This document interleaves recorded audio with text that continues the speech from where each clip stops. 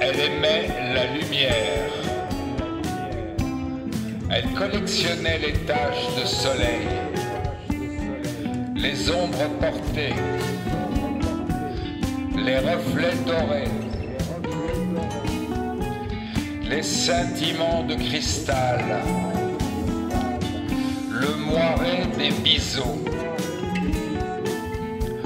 Elle chantait sur les éclats matinaux. Elle était un peu hirsute. Ses rideaux bouclaient, ses tapis faisaient des nœuds, ses tuyaux des.